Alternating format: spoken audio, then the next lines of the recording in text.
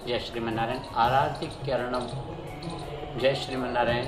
आराधिक करणम जलेन शीतलीकरणम आप हमेशा देखते होंगे, या हो सकता है आप ऐसा ही करते होंगे, भगवान की आरती उतारने के बाद में हम थोड़ा जल चढ़ा करके जल से शीतलीकरण करते हैं। तत्पश्चात हम क्या करते हैं, उसी आरती को देवताओं की तरफ़ इस तरह से करते हैं। यानी कि हम आरती को भगवान को दे रहे हैं, जबकि ये करना बिल्कुल सर्वथा निरर्थक है। ये कला सिर्फ़ बॉलीवुड ने मुंबई या कलाकारों ने हमें सिखा दी है। ये प्रथा बिल्कुल गलत है।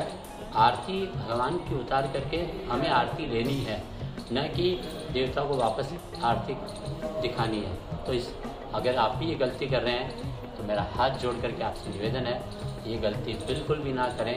कोई अगर कर रहा है तो, तो उसे आप अवश्य टोकें। बच्चों को एक सही राह दिखाएँ। कोई भी गलत कार्य ना करें। शास्त्रीय कार्य करें तो उससे आपकी और हमारी शोभा है।